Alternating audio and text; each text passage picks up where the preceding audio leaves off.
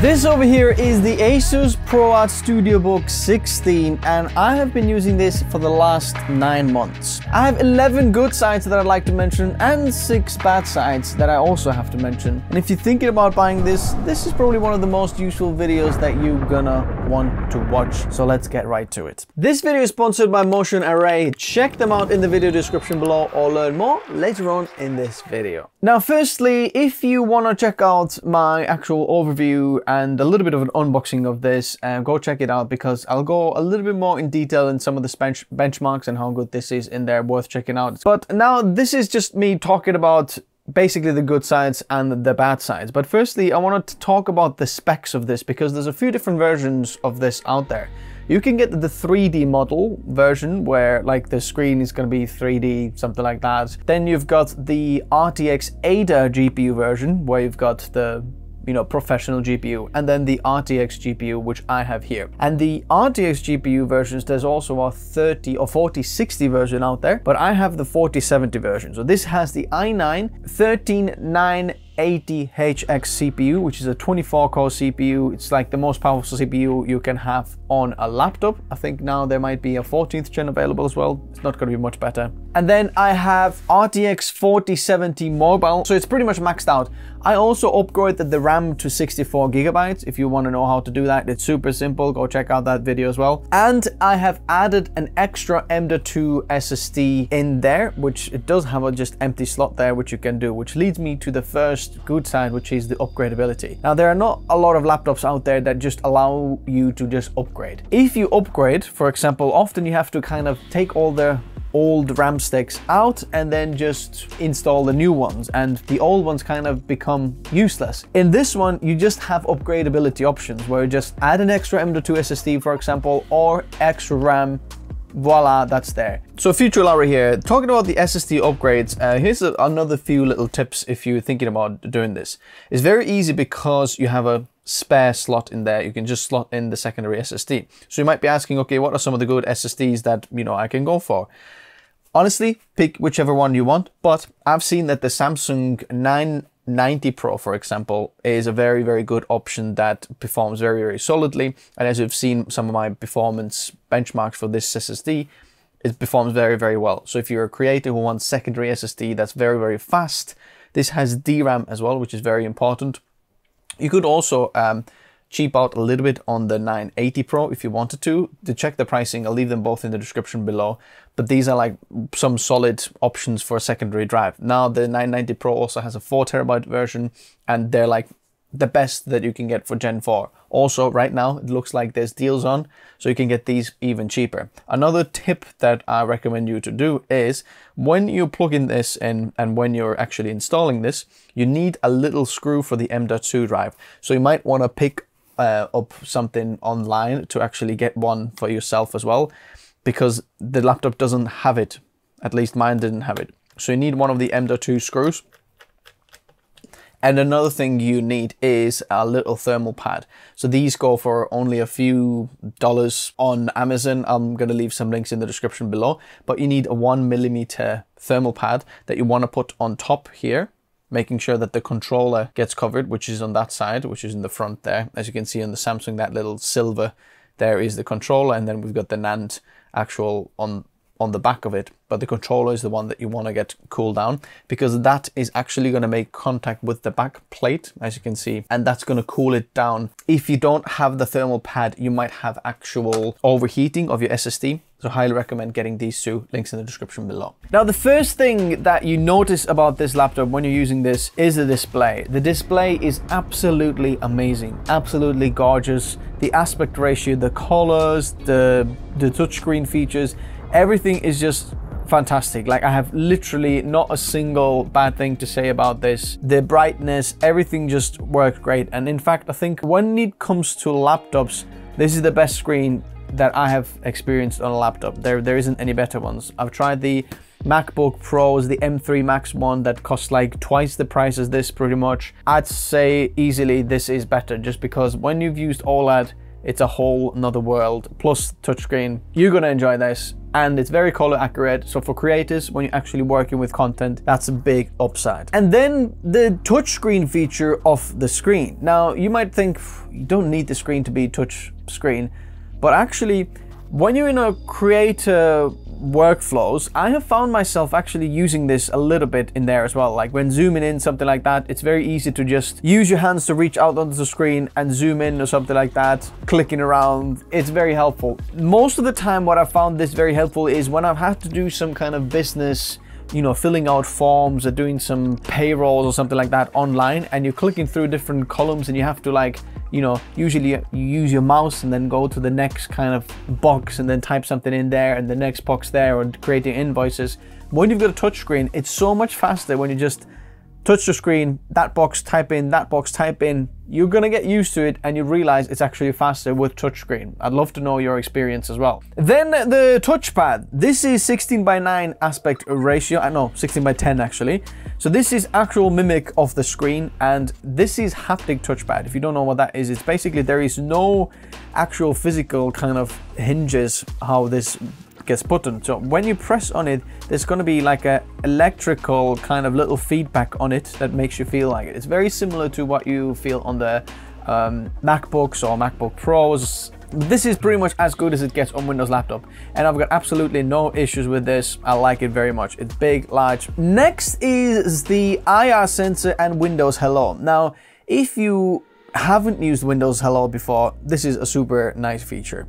You're going to open the laptop, it's going to scan your face, boom, you're logged in. And it's not going to be like MacBooks where you have to touch something or type in a ping or something like that. This just really adds like a tiny little bit extra. Now, this is not something special, but because this laptop does have it and I've used laptops that don't have it, and when you realize the laptops that don't have it, this feels like like kind of limping and it's not fully like using the laptop, but having that is really gonna just make the usability and using this much faster. Then moving on to the ports of this laptop. Now, when you get this laptop, you realize you don't need to bring in any extra dongles. You can use everything that you need is in here, whether it's HDMI, RJ45 port, LAN port, that's not very common on laptops, but it's in here. Now, this is only one gigabits in speed, so that's kind of like mm, a little bit of a downside. I think this great laptop, this should have been 2.5 at least, just because Creator would just connect this to their NAS and they want to get fast transfer speeds with their network attached storage but this one doesn't quite support that. So that one gigabit one, it's kind of a bit of a shame. We do have an SD card slot, USB type A's and type C's, Thunderbolts, everything. Eh, honestly, you don't need anything else when having this laptop on the go. It really feels like a workstation where everything's there. Which leads me to the performance of this laptop. Now, the CPU and GPU combo inside there is truly really, really powerful. And especially the CPU, if you ever need to do something CPU intensive, those 24 cores, they are truly amazing. And I've talked about CPU performance a lot on the channel, but basically hybrid architecture and everything, if you're using any Adobe products, for example, especially Premiere Pro, using media encoder while editing at the same time, it's an absolute breeze and you're gonna you're gonna enjoy this. It's very, very powerful. The GPU as well, it's very powerful on the go to have that on a laptop 40, 70, 40 series NVIDIA. A quick message from today's video sponsor, Motion Array. Motion Array is an unlimited marketplace for all your video needs. You know the ones that you don't have time to make but would love to use. All the nice titles and intros and lower thirds, effects and motion graphics, even stock video and photo. There are over 40 plugins available for Premiere Pro, DaVinci Resolve, After Effects, Final Cut Pro, Motion, Vegas Pro and Avid Media Composer. It's membership based, one fee and unlimited downloads. Use whenever and whatever. No more copyright strikes and a peace of mind. Their website is extremely easy to use. You'll find exactly what you're looking for. Try it out and you'll know what I'm talking about. But now they even have extensions available for Adobe software software. So get all the assets within the software without even leaving your editor. If you're not sure about Motion Array, check out their hundreds of free assets through the links in the description below. And if you sign up for the annual plan, the links down below will provide you extra $50 discount. So go check out Motion Array through the links in the description below. Thank you again, Motion Array, for sponsoring this video. Then we've got to talk about the price, which is also something that is very, very impressive. Now, try to find the laptop out there that goes for around $2,400 and has the same features for creators. An awesome screen, quite a lot of power in all of the CPU, GPU performance, upgradability, all the chassis, ASUS style, all the things in considered, you're not going to find another laptop. And this is made for creators as well. Beautiful design, everything. The price is amazing. Now, if you're using Adobe products, you're also to get three months for free Adobe Creative Cloud membership, which makes this laptop even more affordable. So I highly recommend checking it out in the video description below if you want to check it out. I'll leave links in there so you can check it out. I've also seen this on a deal recently where there's been a few hundred dollars off on this as well, which makes me think this is absolutely insane as well. And now I'm hoping Asus is to maybe come out with a newer version of the ProArt, which makes this even more affordable. So I'll try to leave the links in the description below for you to check out. Then I've used the laptop to watch quite a bit of movies as well. And this is another bit where you realize that the screen is awesome, but also the speakers are quite awesome. Especially when, you know, you're watching something in the nighttime and you need to quiet down. You put the speakers very, very low because the speakers are very powerful and loud. So I'm very much happy with the speakers. You've got Harman and Kardon sound in there as well as Dolby Atmos. What now would I recommend you doing editing on the speakers? You definitely can, but I think having headphones is going to give you a better experience just because it's not going to be as echoey and you can do some better sound design. Last awesome thing about this is the build quality. There is not a lot of Windows laptops that have this type of quality. All the chassis feels very, very solid. The top is absolutely metal, and when the laptop lid closes, it makes very similar sound to the MacBook Pros. Listen to this. If you know what MacBook Pros sound like, this is awesome. It's very, very solid. The hinges, there's no screen flex. It is such a rigid, like I can't bend it at all.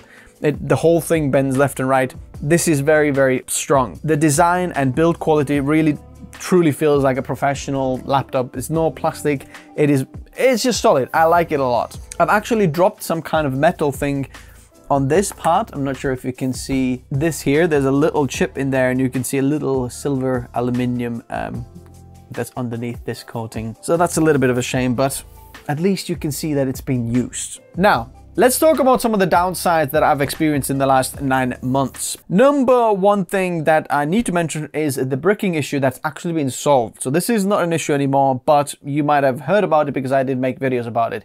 There was an issue about this laptop, uh, I don't know, six months ago, maybe more, where they updated the firmware through Windows Update of the actual, you know, BIOS.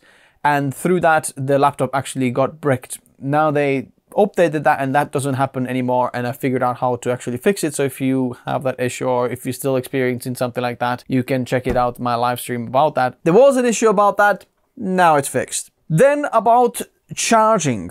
Um, th there's no particular order in all of the downsides here, just what I remembered is when you're charging the laptop, it gets very hot even if your laptop is not on. So when your laptop is not on, you've got the lid closed, you plug the laptop in thinking, okay, I'll just leave it charging so when I need to go, I'm gonna unplug it and then go somewhere and it's charged up. When you actually pick up the laptop, the laptop is so, so hot, especially on the bottom there. It is red hot. When you open the laptop lid, the fans are going to kick in 100% speed to cool the laptop instantly down, which means that instantly your battery is just going to be phew, draining down. I think there's some kind of issue with the fans, that the fans are not kicking in when the laptop is charging with the lid closed or when the laptop is off. So when the laptop is off, I wish that the fans would still cool the laptop because obviously the 240 watt brick that charges it, it's going to make all the chassis and everything inside hot. But Asus should update some kind of BIOS firmware that when it is charging, it would actually cool it down as well because you're obviously not wasting battery power, but then as soon as you start using it, your battery is going to drop very quickly because it's going to have to run the fans at 100% speed and the performance is going to be dipped as well because it is so hot, it's instantly thermal throttling because everything's heated up already. It is very, very warm. I mean like, whoa, that is very warm. It's not just, okay, it's slightly warm, it's like hot, not just warm. Which leads me to the next bit, which is the battery life. This is a very, very powerful laptop. And in order to get that power, the battery runs out very, very fast. If you're trying to do any editing or any like high CPU, GPU intensive thing, don't expect more than two-ish maybe three hours out of it. That's absolute maximum. You're not gonna get any anything else. Uh, even when doing just using the laptop, a couple of hours is the absolute maximum that I have seen this laptop battery life. It goes down very, very quickly. Now, I've actually gone even further to put the laptop into a power efficiency mode when I'm doing just emails and, you know, just working on a laptop and I don't need the laptop to be just super powerful and all the 24 cores, you know, roaring away. Uh, I just want it to kind of serve battery but it's not going to do a great job, honestly. It's meant to be kind of on the go and keep the power brick with you type of laptop. Yes, you can do some things on the go, and I've used quite a bit of doing emails and watching movies and so on, but honestly, you're going to be surprised how fast it's going to run dry, which makes me think that uh, they need to do the mux switch a little bit better. Like when you're going to use the dedicated graphics card and when you're not going to use the dedicated graphics card. I don't think the software inside there chooses it very well. So it uses the dedicated graphics card when it actually doesn't have to. And even the CPU cores, we don't have to use the 24 cores all the time. I think there could be a little bit of a better scheduling and using the cores and the laptop a bit more efficiently. It just uses a lot of power, even though it's got a massive battery, like a 90 watt hour power battery, which is very close to the maximum that you can actually carry on an airplane. It's still not going to be big enough to power this as long as you need. While we're talking about the, the, performance of this, even though the performance is awesome in CPU, the GPU as well, I feel like this laptop should have had an option for more than RTX 4070. Now this 4070 has 8 gigabytes of VRAM, but I feel like creators, we should have been given like the 4070 Ti or TI Super now, I know Supers weren't available then, or 4080, where we have a bit more VRAM and we have dual encoders. Like these two things are very, very important for creators. And I feel like they cheaped out a little bit on the GPU. And I know there's power delivery and there's a lot more things, you know, to it when creating a laptop like that. But I wish there was another option where we get a 4080, for example, as well, just for that extra VRAM. Now, even when you go with the RTX Ada, the professional series GPUs, you're not going to be able to get any more VRAM. 8 gigabytes, that's it, that's the maximum. But I feel creative professionals, we need a little bit more and that's a little bit of a shame. Then the Asus dial that we have in here. Now, this is an awesome feature and I've praised this from the beginning, but there is a little bit of a downside. This is not as integrated into this laptop as you might think. I thought I was to use this uh, much more than I thought, uh, but I didn't because often I found in Adobe, you know, softwares, maybe this is for you as well, this just didn't do anything and I couldn't figure out how to get it working. Maybe it worked at some point, but I feel like there's a poor software implementation for this Asus dial. I like that it's physical, it feels very, very good, but just for software. The experience is it hasn't worked as well. It's pretty much done nothing. I've just used any other features, but not this dial. Maybe there's a lot of configuration that you need to do to get it working, but I feel like if you're providing this for creative professionals, this should have been done from the get-go and I shouldn't be figuring out how to use this. It should work out of the box, which for me, it didn't really do. If you're using this laptop, I'd love to know what your experience has been like. Then the keyboard. Now, the keyboard is good, you know, it works, but um, since I've used quite a few different keyboards and I'm using the Logitech MX keys, my daily driver and keyboard, and I absolutely love this. I've praised this to high heavens. I'm not a big fan of um, mechanical keyboards, but this is very nice the way this keyboard kind of goes. You've got a little bit of a weight and soft touch for this. These feel a little bit too light and too clicky and too like kind of flimsy. The key keycaps kind of go around. They whittle around like that when you click the keypads and it just doesn't feel like a premium experience.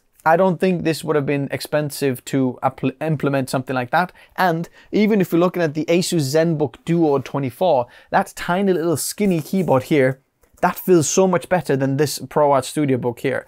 This laptop there, the ZenBook Duo, is like a thousand dollars cheaper, but has a much better keyboard. And look, This is a much skinnier implementation than this, so we don't need like a lot of key travel. We just need a nicer, this feels so much better than this one. So I don't know, I just don't like the keyboard as much now. And when buying this laptop, another downside is the weight and size. Now, I know that you're gonna get a 16 inch laptop and when you're getting this, it's gonna be big and you know powerful and bulky. Now I did have experience with the M3 Max as well when I used this one and the M3 Max didn't feel as bulky and as big. I know the whole thing about Apple laptops is that it you know they're very portable and light but this laptop does feel a little bit bulky.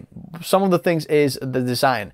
I don't like that the back of this is empty. I know it feels like it's going to make the laptop smaller. Just give me the extra little bit here. Put like a heat, bigger heatsink or something in the back there because it would have made the laptop a little bit more kind of just unified. It is quite heavy to carry around, so it's not light. So it does feel like a workstation laptop that you're going to take with you and then just going to get some work done, if you know what I mean. If you're just expecting a thin, light thing to do, you know, emails with, this is going to be a very heavy laptop to carry around and there's much better options to carry around if you just want to do email. So maybe not that's not for you. But this is not necessarily a downside. This is just kind of like an observation that I've noticed when I was using this that, you know, perhaps if you just want to do that, is not the best laptop for that.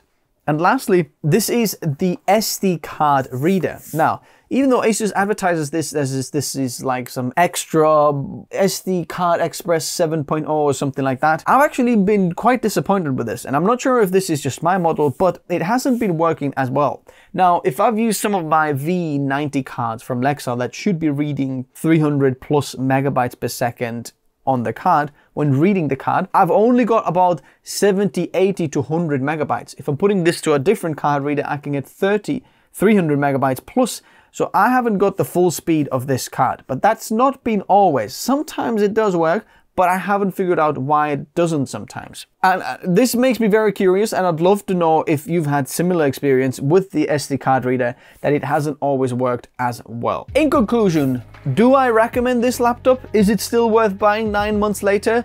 And I'd say yes, even though I've mentioned these downsides, this is still my favorite that you can buy because of the price point, you're not going to get much better. The main things that matter to you, like the screen and the power of the laptop, this does provide this. And I think this laptop is going to last a long time if you're going to buy it just because of the build quality and what Asus with ProArt is doing. So I'm loving this, even though with the downsides, it's worth buying. If you do want to buy it, there's some links in the description below. Or if you do want to build the PC for you, any budget you want, and you don't need the portability, there's some build guides in the description below that are for free. And if you do want to reach out to me, um, and perhaps I've not answered your email or DM, then I always get back to all my Minect messages. So if you do want to reach out in there, feel free to check it out in the description below. I want to say big thank you to Motion Array for sponsoring this video. Go check them out through the links in the description below. They've got an awesome product, awesome service, affordable prices, and honestly, just go check them out. And if you sign up through the links through the description below,